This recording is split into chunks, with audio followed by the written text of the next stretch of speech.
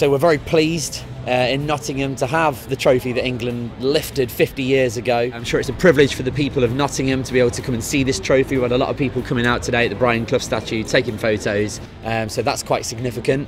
Then we went to the Broadway Cinema, um, which is fantastic, very cultural aspect of Nottingham. Uh, we're here at the South Bank.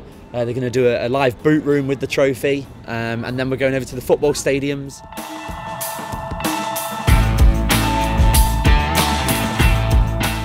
Just before the game, about maybe 20 minutes ago, we uh, we stood on the touchline, and uh, obviously the trophy was out there, and all the, the both teams had photos with it, and um, it was really nice, and uh, I was really happy to be down there. Uh, it's important because it was the last ever major trophy we won as a country and it'll probably be the last one we won anyway. When I was a kid, you know, obviously 1966 was a massive day. Uh, England winning the World Cup, uh, every footballer's dream, uh, and if you're English, it's just a proud moment. And to be associated with the World Cup and to bring it to Nottingham is absolutely fantastic. Well, we've held the World Cup, haven't we? Yeah. How did that feel for you? Um, it felt like I played for actual proper football team.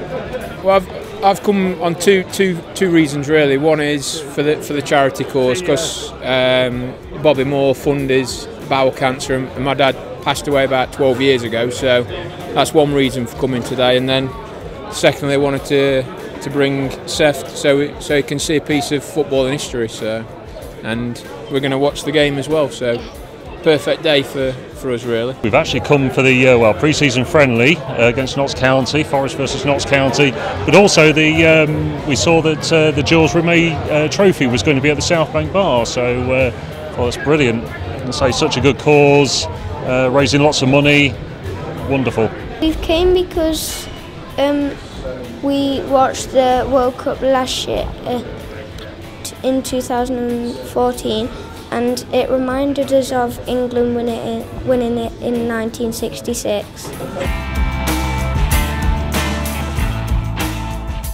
So uh, I've been fundraising for about five, maybe six years uh, for Bobby Moore Fund, and I've been doing uh, long distance charity events like cycles, walks, and basically any event that people can join in with. And I've raised um, about two hundred and seventy six thousand pounds. Having the links with Bobby Moore, uh, I think it's quite important to have the trophy, and uh, a lot of people really like it.